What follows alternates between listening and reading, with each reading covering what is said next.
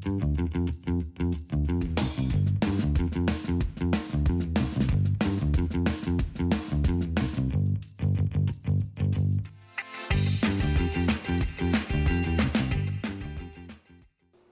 for coming back. Today we're going to talk about Workflow Manager, which was designed for you to customize to use for your own shop.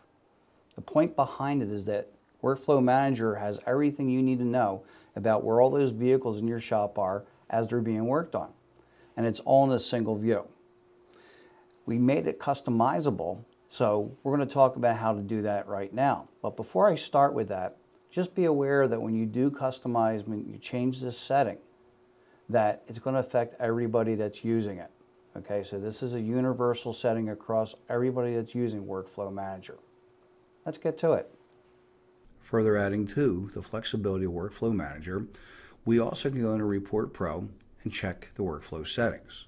Please note that these two settings, workflow statuses and workflow settings, these are universal, meaning whatever settings are done here, everyone that's using Workflow Manager will have to share the same settings. So please decide what you wish to do. So workflow settings, when we click on that, gives us two different views. What we've been looking at here is the technician and status view, where you get to see the statuses across the top and the technicians along the side. But you may decide that you would like to have a much simpler view, and that will be tech only.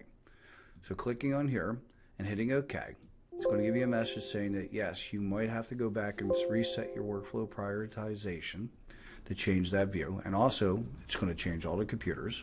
But here you are a much simpler way of looking at things. You got your tech across the top and you got the jobs lined up below them. And everything that we're going to be looking at in the other point of view, when you right click is available and when you left click, all that information is also available right here.